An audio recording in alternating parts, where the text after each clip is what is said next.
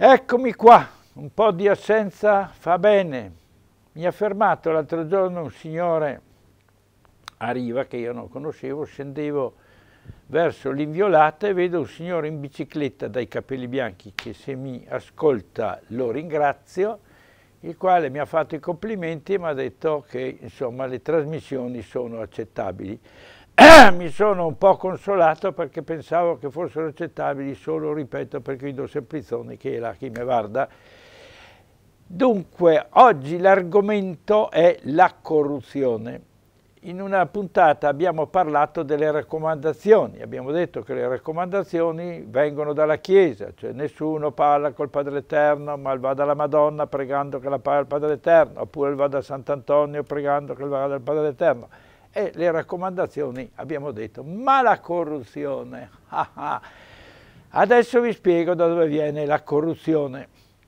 Il sottoscritto ha ricoperto un posto di responsabilità dei farmacisti per circa 25 anni e in questa occasione io andavo frequentemente a Roma. Quando sono andato le, le, le prime volte il sottoscritto, credo che mi conosciate abbastanza, ero abbastanza duro su certi sistemi che si adottavano quando c'era qualche provvedimento governativo, perché quando c'era qualche provvedimento governativo che non piaceva, che non piaceva alla categoria o che non fosse piaciuto alla categoria, e uno dice, eh, parlo mi con Ugello, no, parlo mi con Franceschino, no, parlo mi con... Eh, tizio, e c'era tutta una serie di cose alle quali io apertamente mi ribellavo. Allora il segretario della federazione mi chiama e dice, senti Tamanini, puoi venire da me in ufficio che ti devo parlare? Perbacco. Dopo la riunione vado in ufficio da Caferri, così si chiamava Caferri e mi siede a mo' di pappa lui dalla banda e mi di fronte, non in poltroncine vicine, senti Tamanini, io devo raccontarti un aneddoto che è anche vero, però dice, non abbiamo le parole, però te lo devo raccontare perché tu non hai ancora capito in che ambiente si vive qui a Roma. E dico, Cafferi, parla, almeno so cosa sia. Allora senti, al regno di Napoli c'era Re Ferdinando. Ferdinando. Dico, ma pare che anche uno di questi Ferdinandi è morto nel mio paese. Ecco, quello che è morto nel tuo paese. Allora, che abitudini aveva Re Ferdinando? Mi sta per dire qualcosa. Dillo, dillo. Re Francesco. Allora era un altro. Mi correggono, che è una trasmissione, voi non avete neanche l'idea. Allora, hai visto uno che mi fa segno di no, no, non è Ferdinando. È è Francesco. Allora quel che parlo è Ferdinando, non è quel che è morto Arco. Beh, ti secondo, uh, un'informazione una dietro l'altra, uno Francesco, questo segna secondo. Allora era re Ferdinando. Un giorno chiede udienza a re Ferdinando il capo dell'ufficio dell'ambiente. Allora deve essere stato l'ambiente o delle costruzioni, insomma un personaggio che aveva eh, la, la sovrintendenza quella che era l'urbanistica di allora. Don Ciccio lo chiamavano, Don Ciccio chiede udienza a Re Ferdinando. Allora le udienze per la verità ai funzionari venivano concesse con una certa urgenza perché era il re un po' l'amministratore. Don Ciccio arriva e dice, eccellenza, io tengo problemi, tengo problemi tengo problemi, che, che problemi hai? Sa, ho tre figli, eh, arrivo al quarto, eh, insomma lo stipendio dice, non, è, non ce la faccio, dice, non è che lei può farmi aumentare lo stipendio. Diceva Ferdinando, non parliamo di soldi, diceva per amor di Dio che siamo pieni, no, no, no, diceva, Don Ciccio mi dispiace, diceva, non, non è possibile, se non ti piace vai dall'altra parte. Caggia di, caggia di, caggia fa, caggia fa, caggia fa.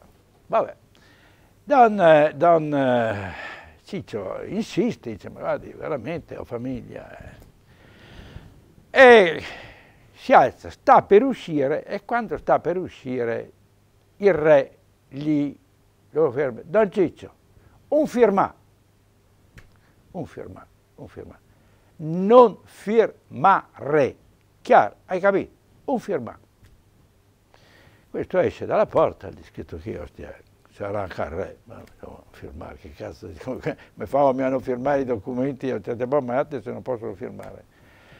Però quando è arrivato a casa e si è consultato con la moglie, la moglie ha intuito, ha intuito, e dice scusa, abbia pazienza, eh, un firmato, anche tu come il re un firmato, cioè, quando arriva un documento tu non firmi. come, come faccio? C'è un funzionario che non firma, un documento regolare, ha già firmato, non firma, non c'è, non firma. Tutti gli anni a Caserta, questa è verità, c'era una specie di sfilata per gli auguri di fine anno davanti al re con la moglie, eccetera. Allora, il primo anno passa Don Ciccio insieme a tutti gli altri, con la moglie e due figli a piedi. L'anno dopo, sfilata, e Don Ciccio non è più a piedi, è in carrozza con un cavallo. Vabbè, il re lo guarda, Don Ciccio lo saluta. Piace. Il terzo anno, due cavalli, carrozza un po' più bella. Quarto anno, quattro cavalli, una carrozza molto bella. E allora il re si rivolge a, a uno dei funzionari, ma chi lì? C'è Don Ciccio? Sì, è Don Ciccio. Ah. Dì che domani venga da me. Il re lo chiama, Don Ciccio arriva, eminenza, eminenza eccellenza, eccellenza, eh, tutti i soliti salamelecchi.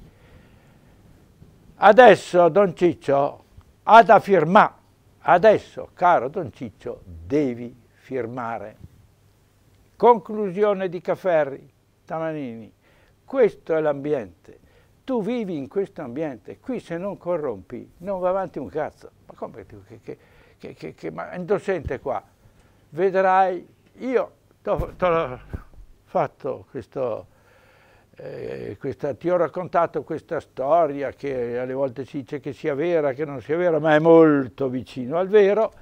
Qua dice, caro mio, funziona così. Se sganci le cose vanno, se non sganci le cose non vanno. Boh, sarà. Ecco, così è nata la corruzione, cari signori.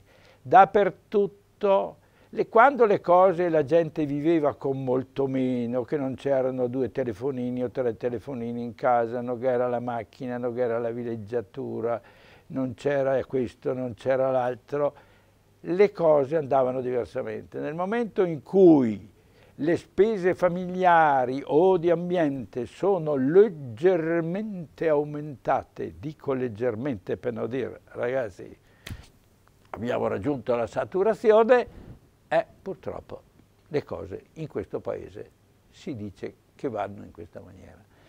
Allora, mi raccomando, signori che mi ascoltate, firmare, firmare re. Avrei concluso.